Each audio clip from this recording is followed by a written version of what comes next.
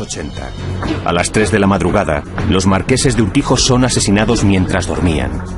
Se localizan cuatro casquillos del calibre 22. La policía descarta inmediatamente el móvil del robo. Estos fueron los personajes que se vieron envueltos en un crimen que conmocionó a la sociedad española.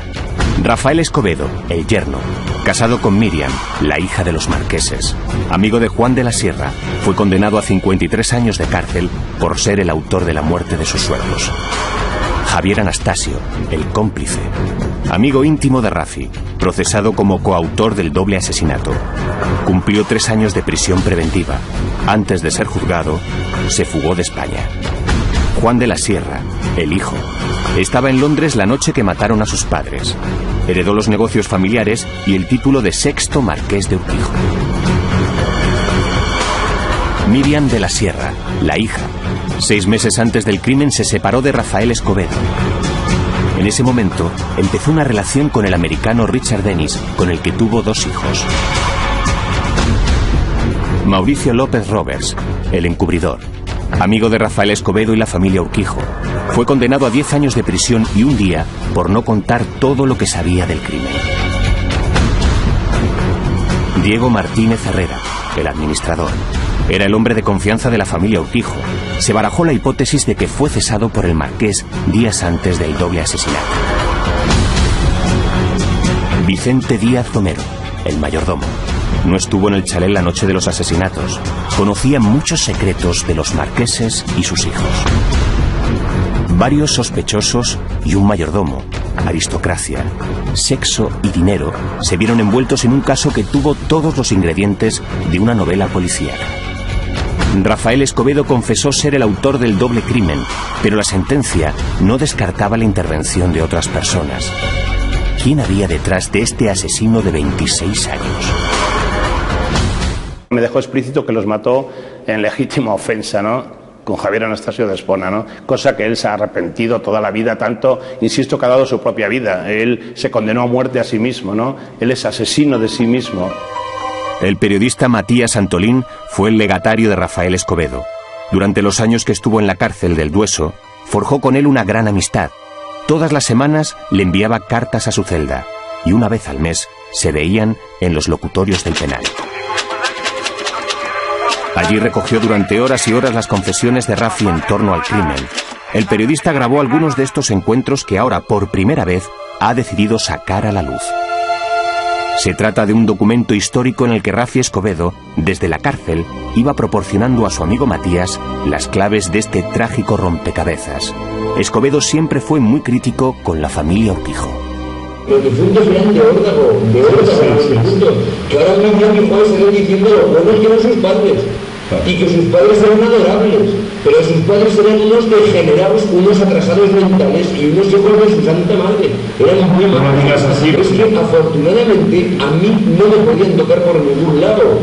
Si llegan a poderme tocar, es que me hubiesen retorcido como si fuesen los salchichas. Matías Santolín ha vuelto a la cárcel de Carabanchel donde su amigo permaneció más de tres años.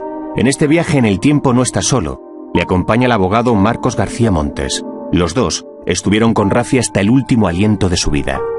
El periodista y el abogado están enfrentados. Ambos defendieron teorías distintas sobre la autoría del crimen.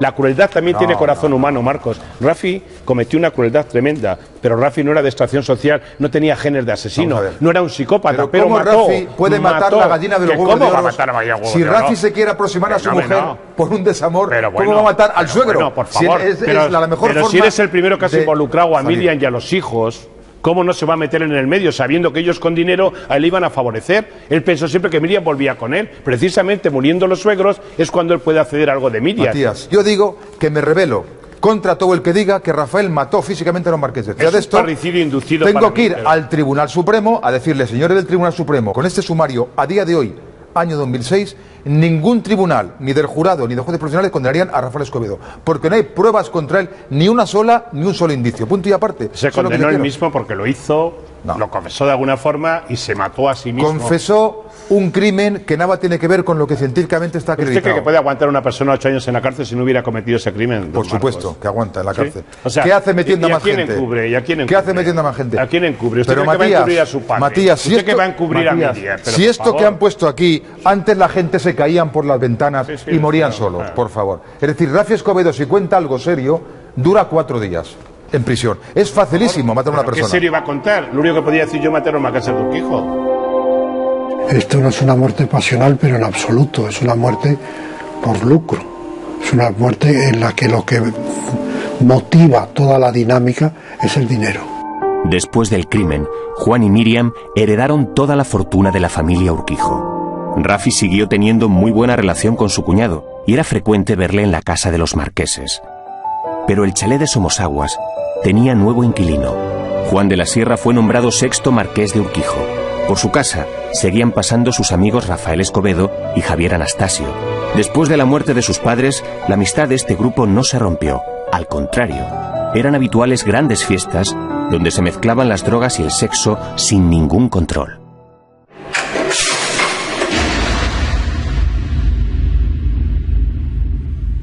la discoteca y la piscina, pero con unos desmadres de todos en pelotas y ahí que pille y que pueda y cada cual como le dé la gana y, y un auténtico desmadre, eso sí es verdad que últimamente estábamos un poco des- desmadrados en ese aspecto de ala, venga, orgías y más orgías. Eso es, es- eso es verdad. Miren no participaba, pero Juan y yo sí. Después de muertos los marqueses, hicieron huelgas todas las que les dio la gana en el este. Los, el, Juan de la Sierra sentía por su padre bastante menos que por el perro. Yo estoy procesado, estuve procesado en su día, porque dije, y lo mantengo, que Juan de la Sierra pegó una bofetada a su madre en la mesa, porque luego le echó una jarra de agua por encima, porque dijo que no quería volver verle de entrar a Escobedo allí en la casa acostarse con Juan de la Sierra al apartamento. Y entonces le dijo, tú cállate, que eres tontita. Siempre se especuló con que Juan y su cuñado podían ser algo más que amigos. Se llegó a decir que entre ambos existía una clara relación homosexual. Rafael Escobedo campaba a sus anchas por la casa del marqués. Hacía lo que le daba la gana siempre y cuando no le viese el administrador. A Diego Martínez Herrera no le gustaba su presencia porque para él era el principal sospechoso del crimen. En una ocasión amenazó a Rafi con una pistola y le echó de la casa. Estar ahí con, con cosas como te que te sacó la pistola Diego para que no. Sí, todo lo que se es verdad, eso sí es verdad. ¿Por- ¿Y por qué te tenía esa autoridad sobre ti para sacarte una pistola? Hemos localizado a esta persona en un pueblo de la Sierra madrileña. Diego Martínez Herrera tiene ahora 75 años. Se muestra muy violento cuando se le pregunta por el caso Urquijo. No me importa nada ni nadie. Lo que siento es que no han tenido huevos para coger a la, como se hizo eso. Nada más. Y que me han jodido. Pero Rafi no era el único que estuvo implicado. ¿Y Pero por, hombre, si lo saben, pues no ha leído el rollo. pero no ¿y ha por- leído usted el rollo. ¿y por qué no se detuvo a los otros? Pero bueno, y me lo pregunta usted a mí. Cuando yo les he dicho de todo. Si lo único que pasa es que no tuvieron huevos nadie. ¿Por qué? Porque el, el- el papá de uno era, era, no sé qué, era el decano del- de los abogados de España. Y al otro porque el papá era del PP y tenía gasolineras. Y el otro porque no sé qué. No me jodan, hombre. Sin los difuntos marqueses, el chalet de Somosagua se convirtió en un polvorín. Los hijos Juan y Miriam, de víctimas, pasaron a convertirse en sospechosos para la policía. También había dudas sobre el administrador Diego Martínez Herrera, quien siguió llevando las cuentas de los hijos. Pero la investigación no avanzaba. Tendrán que pasar ocho meses para que el caso se empiece a encauzar. Al margen de la investigación policial, un inspector estuvo buscando a los asesinos por su cuenta. Su nombre era José Romero Tamaral. Para él, todos los indicios llevaban a la familia Escobedo.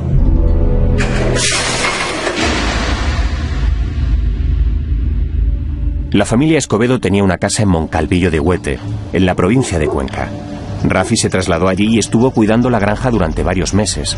Hacía vida de campo, sin amigos y alejado de todo lo que seguía rodeando la muerte de los marqueses. Un día, mientras trabajaba en la finca, Escobedo recibió una visita inesperada. Buenos días. Rafael Escobar Alday. Sí, soy yo. ¿Qué hacen en mi casa? Inspector José Romero Tamaral. Compruébelo. Tenemos una orden de registro. El inspector José Romero Tamaral tenía indicios de que en la finca se hacían frecuentes prácticas de tiro. Rastreó toda la zona y se llevó varios casquillos del calibre 22. El departamento de balística analizó los casquillos y encontró la prueba definitiva. Algunas de estas vainas habían sido disparadas por la misma pistola del crimen. Al día siguiente, sin tiempo que perder, procedieron a su detención. Queda usted detenido como presunto autor del crimen de los marqueses de Urquijo.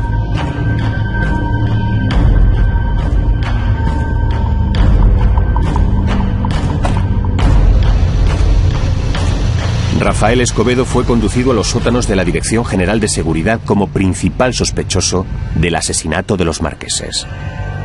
Se le trae a Madrid desde Cuenca, Moncabello de Huete, y se le dice por parte de la policía, y nadie lo ha negado, hemos detenido a tu padre y podemos detener a tu madre.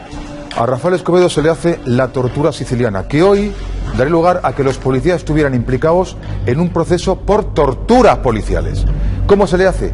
Hombre, no es de los de golpear, se le deja desnudo delante de 8 o 10 policías o 15 policías, se ríen de él y eso psicológicamente te desnuda. Pero ¿cómo se puede condenar en este país a alguien sin ninguna prueba? Sin ninguna prueba. A Rafi le condenaron por su declaración, porque se autodeclaró culpable. Y para conseguir la declaración de mi hermano, se le desnudó, se le puso en, genufle- en cuclillas, se mofaron de él y a través de un cristal le enseñaron primero que esposaba a mi padre y diez minutos después le amenazaron de que la siguiente que iba a haber esposada era mi madre. ¡Fírmalo! ¡Ya! ¡Ya! ¡Firma! Tras un largo e intenso interrogatorio, Rafi se derrumba. Escribe en una cuartilla: Yo soy culpable de la muerte de mis suegros, los marqueses de Urquijo. Esta declaración fue su sentencia de muerte.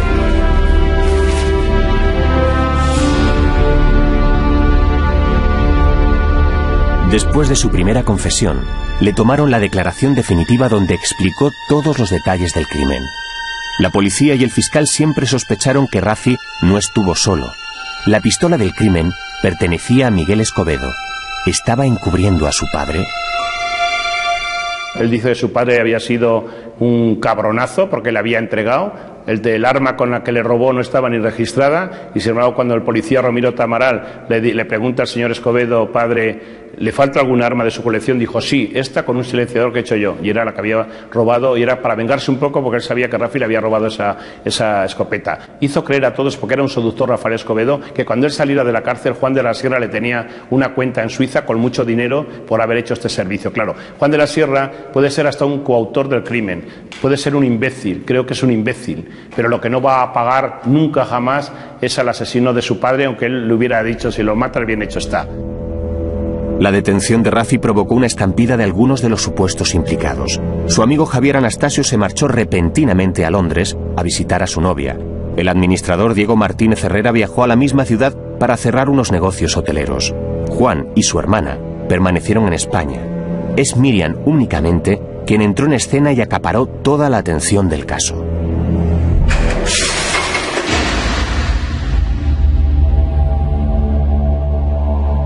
La hija de los marqueses de Urquijo se presentó a la policía para hacer una declaración que sorprendió a todos. Recordó una amenaza de Rafael Escobedo justo cuatro días antes de la muerte de sus padres. Me amenazó y me dijo, tengo, no me acuerdo exactamente la frase, pero tengo un plan preparado y te vas a acordar, eh, me a acabar con tu familia o algo así, no me acuerdo exactamente, fue hace mucho tiempo.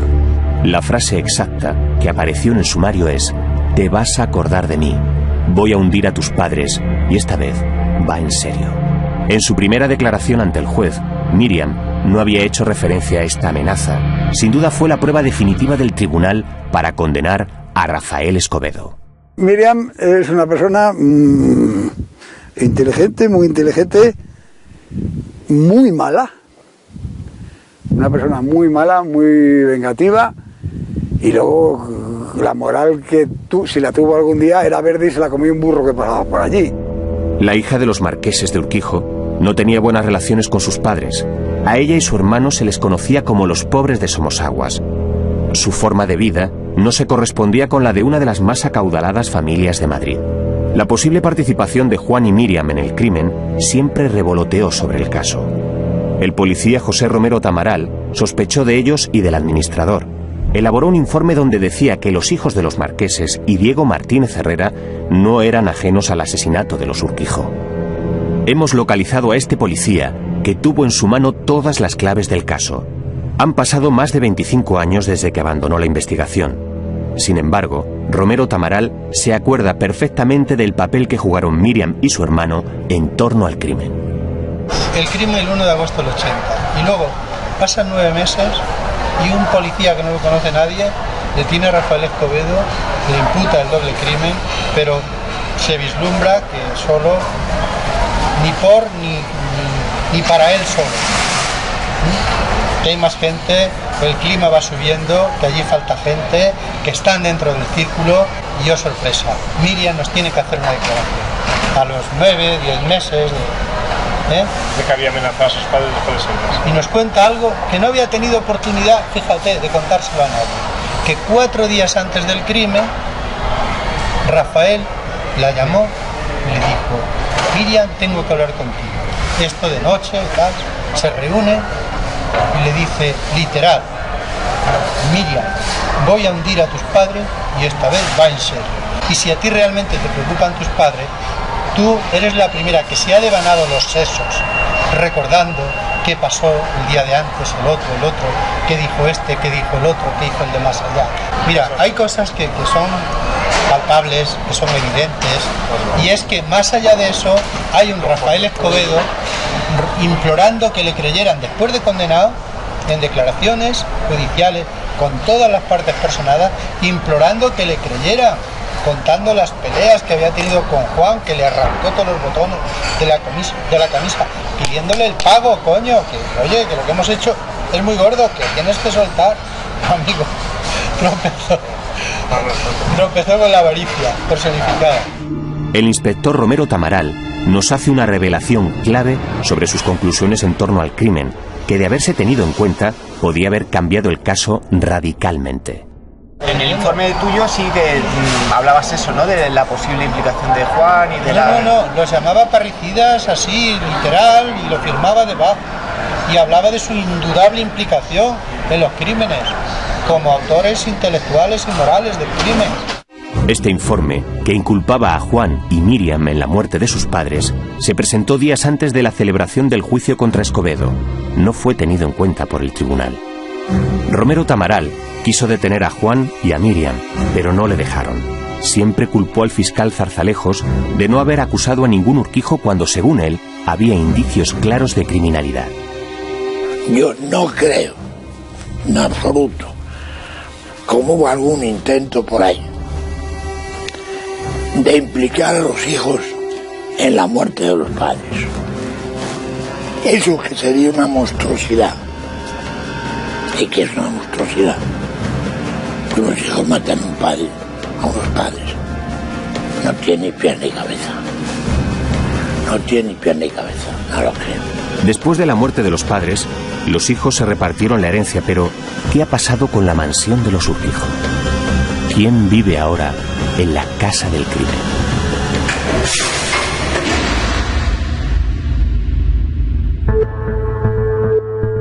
Esta casa estuvo deshabitada después del crimen. En los años 80, la mansión sirvió de escenario para el rodaje de numerosas películas. Aquí trabajaron directores como Mariano Zores y Luis García Berlanga. A ver, no, por favor. me Venga, gusta, tiene usted ¿eh? que hacer gimnasia. Es prescripción médica. con eso no voy a- con eso no voy a hacer gimnasia. tiene usted No que me da la gana, con esa no voy. Yo quiero hacer gimnasia. a tu sitio. Nos desplazamos hasta Somosaguas para saber si se sigue alquilando la casa para rodajes de cine. Ante nuestra sorpresa nos recibe Juan de la Sierra, el sexto marqués de Urquijo. ¿Qué tal? Hola.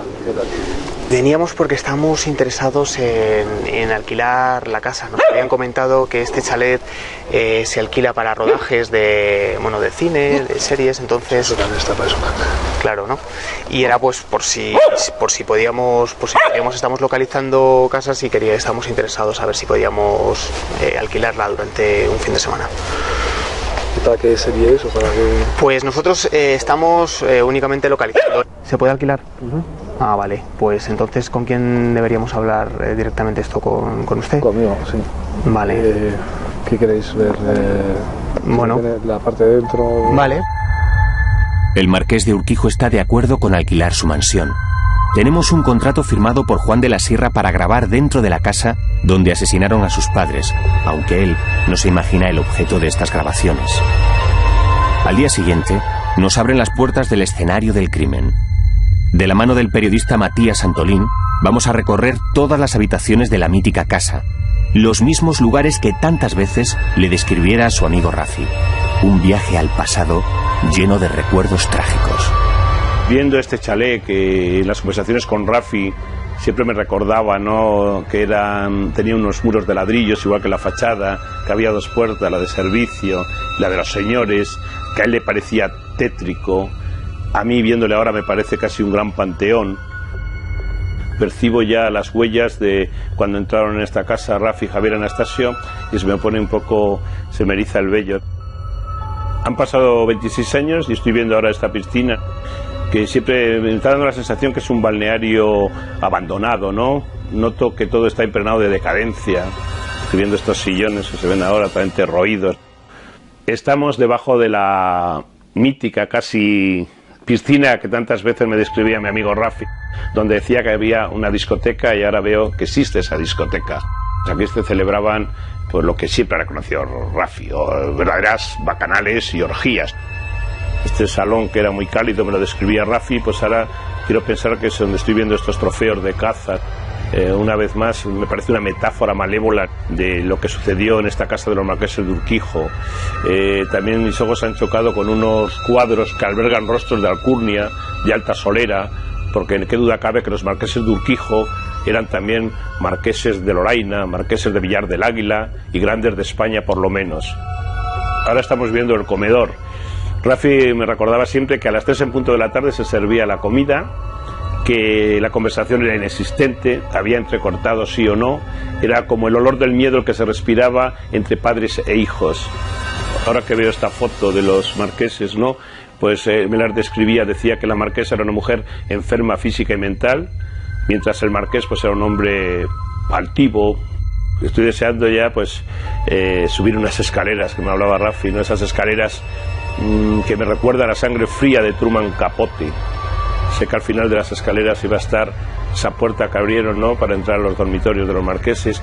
Es tremendo describir esta habitación, que tantas veces me la he imaginado, que la he visto en fotografías, ya no hay casquillos, está todo un- un sepulcro sin víctima, un ataúd sin muerto. Sé que aquí al lado, que ahora ha reformado Juan de la Sierra y ha convertido en una sala de estar, dormía en aquella época la marquesa María Lourdes.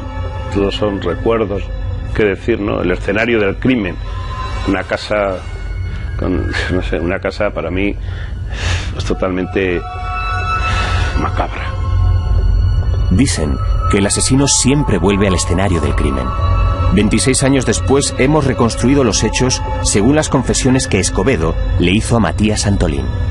De acuerdo con estos testimonios, Rafi siempre estuvo acompañado por Javier Anastasio.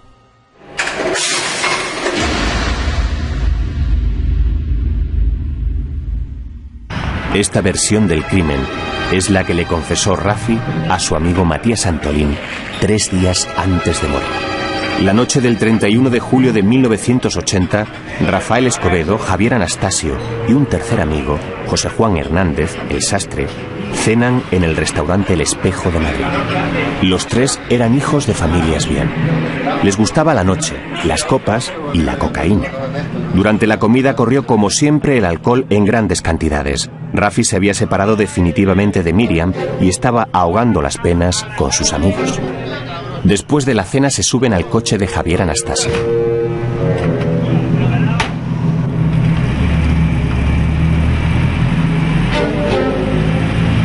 El sastre ya no quería continuar la juerga y se despide de los dos.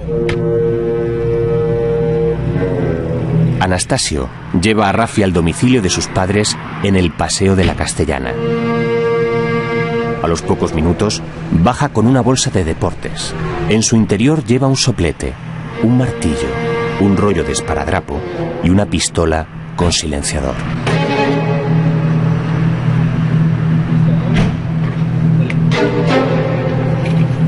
Los dos jóvenes se dirigieron al chalet de los marqueses, en la lujosa urbanización de Somosaguas.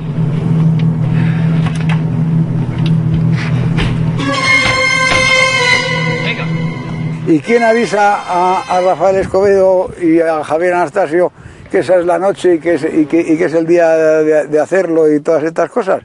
Pues tiene que ser Juan de la Sierra que estaba en Londres haciendo un curso de banca. Rafi y Anastasio saltaron la verja del chalet.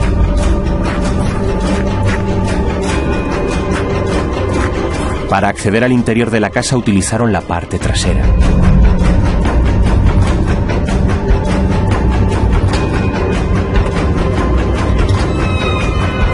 Después de recorrer el jardín, se toparon con un enorme ventanal.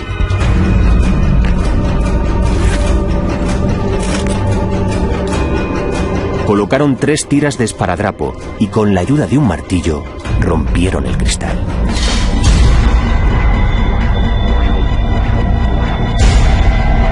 Atravesaron la piscina cubierta y llegaron a una habitación que estaba cerrada con llave.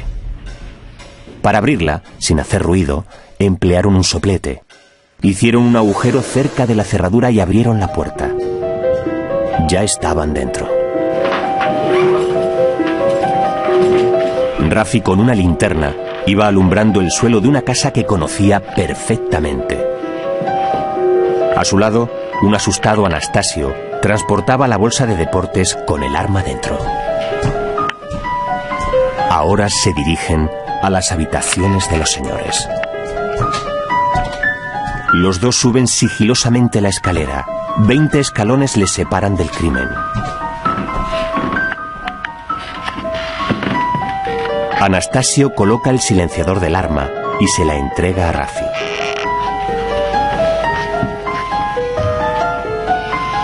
Al final de un eterno pasillo están acostados los marqueses.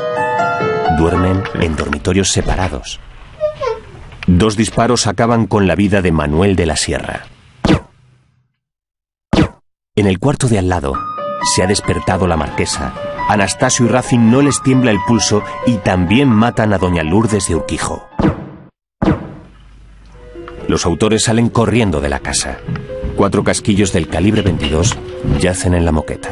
Se- ya se encarga el marqués y se les despierta la marquesa y les hace utilizar el plan. Y hay que actuar, y hay que actuar y actúan. Y además la palabra de Rafa, cuando mataron a mi suegra, que fue una metedura de pata, le salió un chorrito de sangre como una fuentecita del cuello. Eso si no lo has visto no lo describes así. La criada dominicana que dormía en la zona de servicio no escuchó nada. La alarma fue desconectada. En el exterior los vigilantes tampoco vieron a los asesinos. Aquella noche tuvieron muchos problemas para realizar su trabajo. No estuvieron pendientes del chalet como de costumbre. ¿Qué ocurrió con la vigilancia aquella noche? ¿Falló por casualidad? Hemos conseguido localizar al jefe de seguridad de la urbanización donde vivían los marqueses de Urquijo.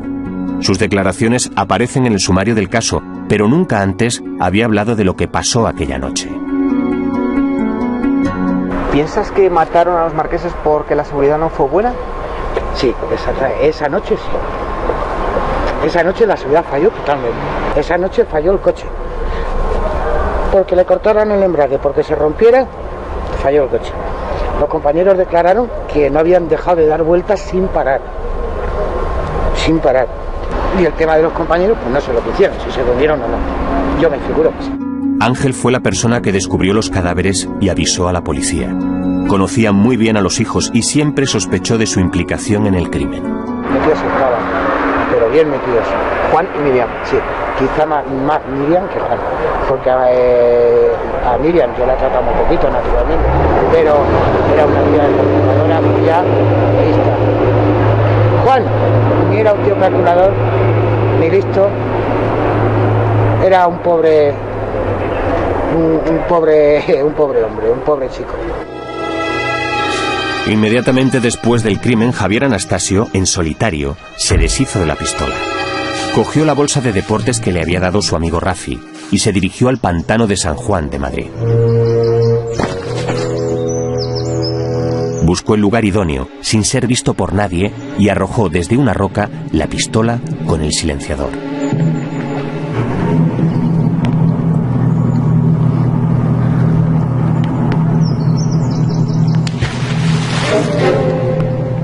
El arma fue recuperada y depositada en el ayuntamiento de Pelayos de la Presa. Luego se extravió. Desapareció tan inexplicablemente como el resto de pruebas materiales del crimen.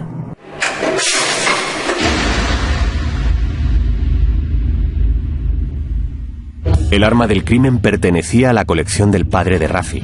Era una pistola de tiro de precisión, del calibre 22. No estaba legalizada. Miguel Escobedo nunca la echó en falta hasta el día que detuvieron a su hijo. Meses después del asesinato, el arma fue encontrada por un grupo de chavales que jugaba en una de las playitas del pantano. Uno de estos niños nos recuerda el momento en que halló la pistola del crimen más famoso de España. En el momento de encontrar el, arma íbamos cinco personas juntas y uno de mis primos y yo, que estábamos más en la parte de, de atrás, pues mm, íbamos juntos y al pasar la vimos en el suelo directamente y una pistola y le echamos mano enseguida. Lo que más nos llamó la atención de la pistola era primero el tamaño, era un tamaño mm, un poco impresionante, era grande, una pistola grande. Y el, detalle de que tenía rosca en la punta, que fue lo que una vez que ya entre los cinco empezamos a sacar determinadas teorías, algunas un tanto rocambolescas de dónde podía haber salido la pistola, eh, de que era una pistola de balas. Además de la pistola, también desaparecieron los casquillos que fueron hallados en el lugar del crimen. En cuanto a los casquillos, por algún extravío, ya fuera en la policía, en el juzgado, debió ser en el juzgado. Pero es posible, como en otros muchos casos que hay aquí mismo, se han perdido cintas en el depósito judicial, pues, o están extraviadas. Simplemente no es que se hayan hecho desaparecer. Pero son cosas que suceden entre los miles de sumarios. El juicio se realizó sin las pruebas de convicción. El tribunal que presidía el juez Bienvenido Guevara condenó a Rafi a 53 años de prisión. La sentencia ya forma parte de la historia de la judicatura española. Decía que Rafael Escobedo fue el autor, solo o en compañía de otros, de los crímenes de los marqueses de Urquijo. Nunca se averiguó quiénes pudieron ser las otras personas que estuvieron implicadas. Existió una mano negra para no llegar hasta el final de este caso. A mí no presionó nadie. Nadie. El que diga otra cosa de mí o de cualquiera de los jueces o magistrados que intervinieron en el asunto está difundiendo una auténtica infamia.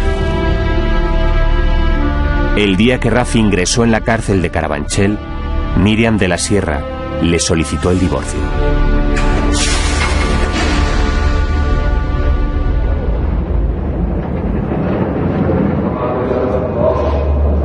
En una de las celdas de la séptima galería de Carabanchel, Rafi pasó varios años de su vida.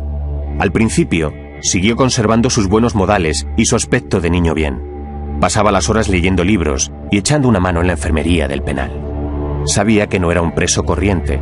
Todos los medios le perseguían porque era el asesino de los marqueses.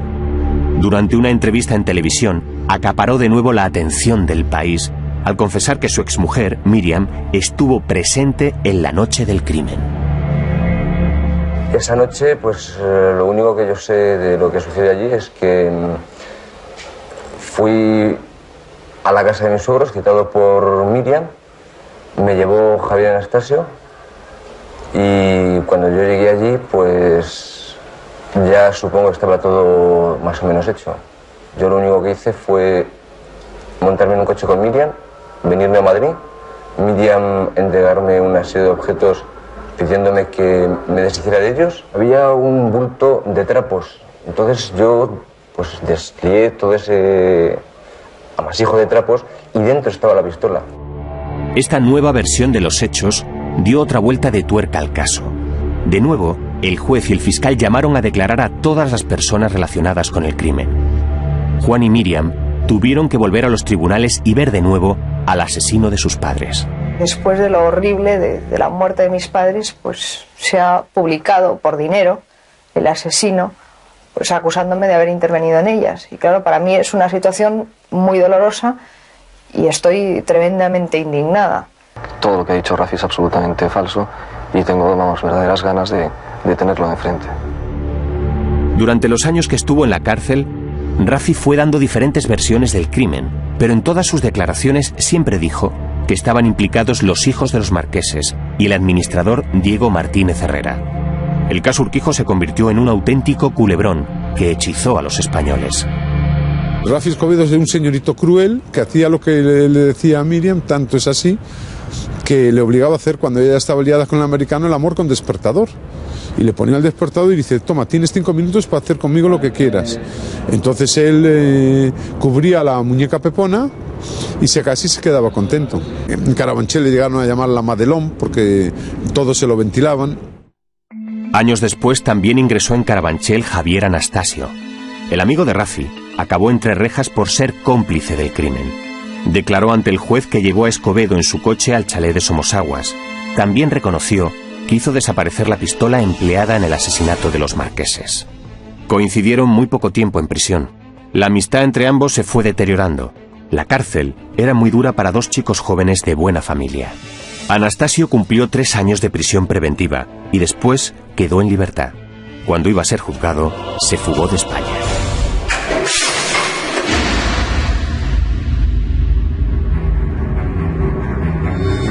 Javier Anastasio se fugó de España en diciembre de 1987. Antes de marcharse, dejó una carta a su abogado. Explicaba que no confiaba en los tribunales españoles y que su juicio iba a ser una farsa, porque ya estaba condenado de antemano. Rafi, en la cárcel, ya conocía su plan para huir de la justicia. En uno de los encuentros que tuvo con su amigo Matías Antolín, le reveló que el periodista Melchor Miralles podría estar detrás del plan de fuga de Javier Anastasio. A mí vino Javier en ese quiere, y si procede a hablar de me eso. dijo, me ha ofrecido Melchor Miralles tu vida a cambio de la exclusiva. Tal cual. Y le dije, pues mira, no sé qué decirte, me pongo muy desesperado. Y le dije, Javi, si quieres utilizarlo tú, vete tú, vete tú. Me parece surrealista. Rafi sabía perfectamente, porque se lo conté yo, eh, lo que yo supe previamente, y tan no tengo nada que ocultar que lo estoy contando ahora eh, para este programa, ¿no? Y si no lo he contado antes, porque nadie me lo ha preguntado. Eh, mm, eh, yo de la fuga, supe que se iba a fugar, sí, y ya he contado, a partir de una inducción, él me lo negaba. Y yo le decía, pero Javier, vamos a ver, no conozco a nadie que se haga un pasaporte falso para irse al parque de atracciones. Cuando salió de la cárcel, Javier Anastasio se hizo con un pasaporte falso legalmente expedido. Estaba a nombre de Carlos Durán, una persona fallecida. Una fotocopia del documento apareció en la portada de Diario 16. El caso Urquijo seguía acaparando la atención informativa. Era evidente que se iba a fugar. Eh, ¿Yo cumplí con mi obligación? Creo que sí, insisto, yo soy un periodista y no un delator de personas que se van a fugar. Además, yo poco tenía que delatar. Y dice, bueno, es que usted no ha contado que ha visto un pasaporte falso. No, pues evidentemente que no, porque soy periodista. Pues que la policía investigue, que se hubiera enterado. Es bastante triste que un periodista se entere de eso y no se haya enterado la policía. Javier Anastasio se fugó antes de celebrarse su vista oral. Sí fue juzgado su amigo Mauricio López Roberts, porque declaró que prestó a Javier 25.000 pesetas para que huyera a Inglaterra el día que fue detenido Rafael Escobedo. Paradójicamente, el marqués de Torrehermosa fue condenado a 10 años y un día de prisión por encubrir a una persona que no pudo ser declarada culpable porque escapó de la justicia. Por aquellas fechas a Rafael Escobedo le trasladan a la prisión del Dueso, en Cantabria.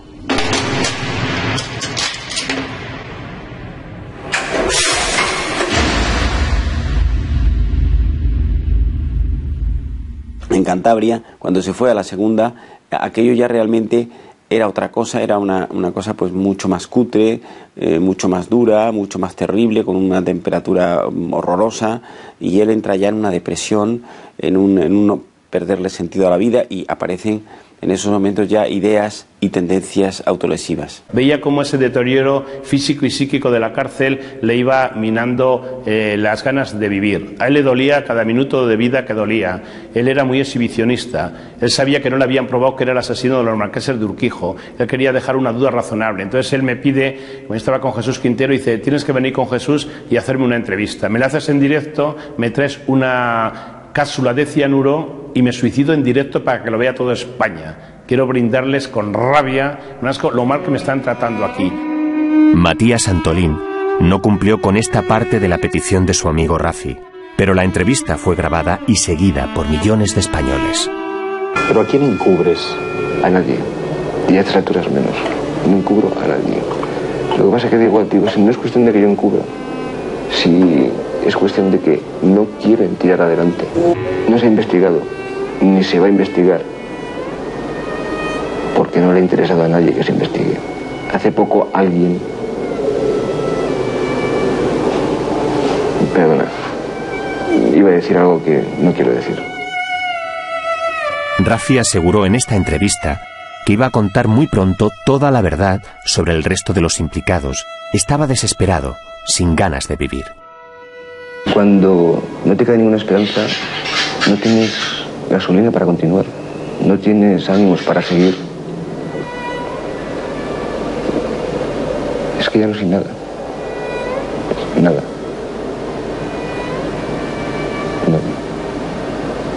Pues eso, lo único que me falta ya para terminar es la cajita con la crucecita encima. Dos semanas después de la emisión de este programa, apareció el cuerpo sin vida de Rafael Escobedo Alday.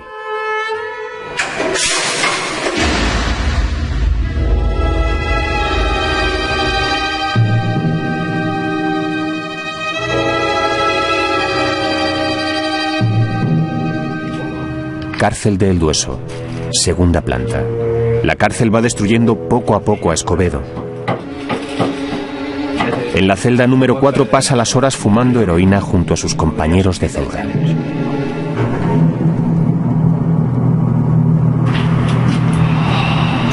A su amigo Matías Antolín ya le había anunciado que su vida no tenía sentido y que la única salida era el suicidio.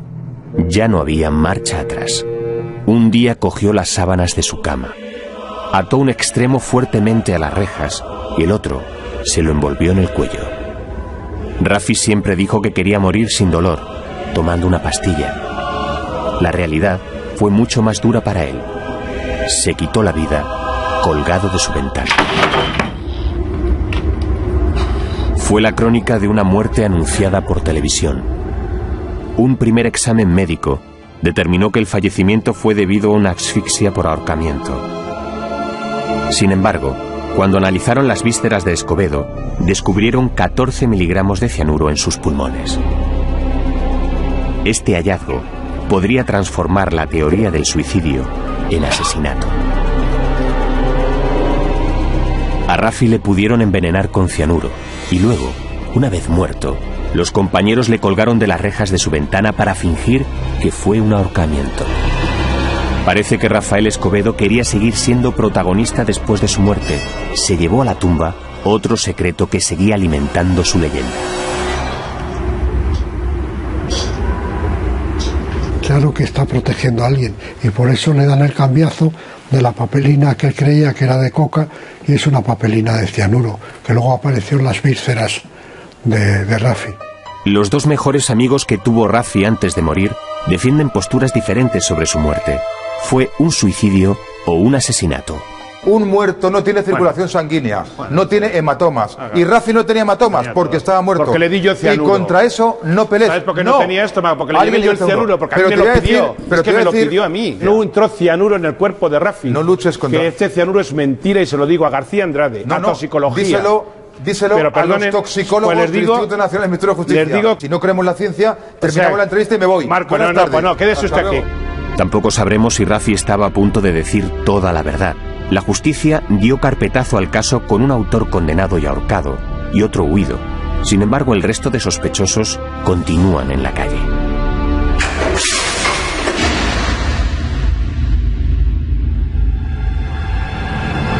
¿Qué ha sido del administrador? El nombre de Diego Martínez Herrera siempre se incluyó en la lista de posibles sospechosos. El principal motivo fue que lavó los cadáveres de sus señores horas después del crimen, sin permiso de nadie. Estaba ocultando alguna prueba. Los lavó por borrar algo y por tapar algo, eso seguro. Porque no es normal que se hagan las cosas así. Y menos sin un permiso del forense, así de claro. El médico forense no, había to- todavía hecho un levantamiento de cadáveres, ni había nada. El juez no había autorizado a levantar y coge y se pone a lavarlos. Pues no es lo que hay que hacer. Pero es que no se hace en ningún crimen de este mundo, no en este, en ninguno más que en este. Preguntamos al administrador sobre el polémico lavado de los cadáveres que hizo sin el permiso del juez. No, que lo que nos gustaría es que... Los, los, los- fijaos los, los parámetros y los gruesos de los disparos de las balas y todo, hecho por la policía. Y tiene usted al forense antes de lavar los cadáveres. Muertos allí, metiéndole el termómetro anal para ver la temperatura. Que están allí con la sangre chorreando. Y tiene, la policía ha hecho todas las investigaciones. Y la policía le ha vendido las fotografías a Interview y las ha publicado. ¿Qué más quiere que le cuente a usted cuando han sido tan hijo puta que la misma policía ha vendido las fotografías? Y hablan de los cadáveres cuando ya estaban más vistos que, que una mona y se marcharon todo el mundo de la casa. Entonces mandé yo que le lavaran para que subieran mamá, las dos mamás, las dos ancianas. ¿Y usted tiene claro quiénes fueron los autores del crimen? Yo, yo sé que Rafita era un hijo puta y que era un cobarde. Porque a un tío se le mata de frente. Los cobardes solamente matan por la noche y a escondidas. Solo fue Rafi y Anastasia. Rafi, los nombres y, y los cuatro, y el cojo, y el sastre, y la puta madre que los parió. ¿Juan y Miriam podían tener algún interés en la muerte de sus padres? Yo eso no puedo decirlo porque yo no puedo pensar de ellos. Y yo ese trato no lo he tenido. Si a mí me dice uno de los dos eso, les pego una hostia que les vuelvo la cara al revés. Si a mí me dice pero vamos, es que les, les rompo la cabeza a los dos. Bueno, el que los corta el cuello a ellos soy yo. Si, si se les ocurre pensar en eso. También le preguntamos si tuvo algo que ver en la vigilancia que se hizo en la noche del crimen. Pero ¿quién es el vigilante? Es una puta mierda. ¿Cómo se lo voy a decir a usted? ¿Qué es el portero del, del edificio de su empresa? Pero él era encargado de la seguridad. Él era una puta mierda. ¿Qué va a decir esa mierda que incumplió su deber? Si se turnaban entre dos y, y se daban una vuelta y además no aparecían por allí nunca. Si hubiera estado allí no hubieran matado a los marqueses. Y que se les estropeó el coche que se lo cuenten a otra morena. ¿Y por qué no estaban ahí? Pero me lo preguntas tú a mí. Es que dicen que el administrador les dijo que no vigilaran. Hombre, pero no digo usted tontería, hombre. No digo usted tontería. Yo cómo voy a decir que no viajará. Si usted dice eso otra vez, el que le va a pegar la hostia a usted soy yo. Y se lo digo ahora mismo en serio. Usted no dice... eh, Usted, usted es un inconsciente al volverme a repetir esa frase. Diego Martínez Herrera nunca fue procesado en el caso Urquijo. Ahora buscamos a otro personaje clave, Miriam de la Sierra. ¿Qué ha sido de la hija de los marqueses? Acudimos a su oficina para hablar con ella. En la entrada nos encontramos sorprendentemente con su exmarido. Se trata del americano Richard Dennis Ryu. Su nombre también estuvo asociado al lote de sospechosos. Ahora está separado de Miriam. Tienen dos hijos en común, conservan una buena amistad y mantienen relaciones profesionales. Dick sabe mucho del crimen porque estuvo muy cerca de ella cuando mataron a sus padres. Y hay implicaciones de, de tanto de Jun como de Miriam. Muchos hablan de eso también. Es, es historia. Sí. Te lo digo porque el, el policía José Romero Tamaral, con el que también hemos hablado, nos, mm, nos dijo que, que él veía un, un, par- un parricidio inducido. Eh, Que no. Mira, si alguien sabe de eso, soy yo.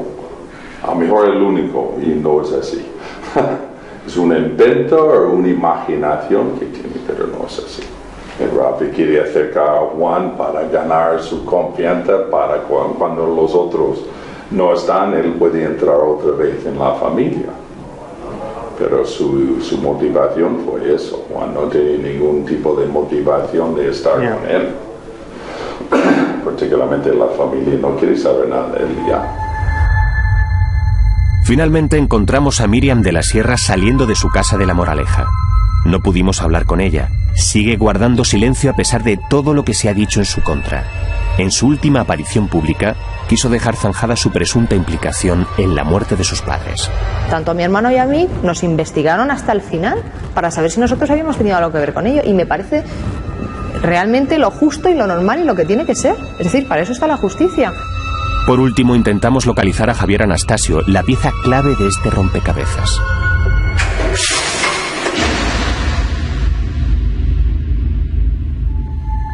El presunto coautor del crimen fue visto en Manila después de fugarse. Después, el periodista Jesús Quintero le hizo una entrevista en Brasil. Luego, se le perdió el rastro. ¿Dónde está Anastasio? Su familia no quiere pronunciarse sobre el hijo prófugo, pero hemos conseguido contactar con una persona que sí sabe dónde está Javier. Se trata de un antiguo compañero de cárcel. Hemos hablado con él, pero prefiere callarse lo que sabe.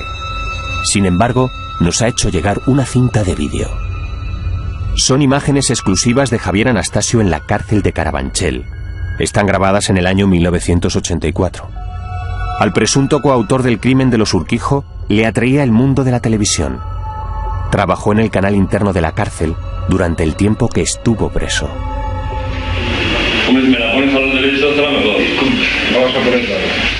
En marzo de 1987, Anastasio salió de la cárcel y huyó de la justicia. Ahora sigue en paradero desconocido. ¿Regresará algún día? A finales de este año prescribirá su caso. Podría volver a su casa sin miedo, porque no tendría ninguna causa pendiente con la justicia. Por tanto, se acerca el momento en que sepamos qué ocurrió realmente aquella noche del 1 de agosto de 1980. Crimen pasional o por dinero. Parricidio inducido o profesionales de Lampa. Solo o en compañía de otros. Javier Anastasio tiene la palabra. Su testimonio cerrará definitivamente el caso Urquijo.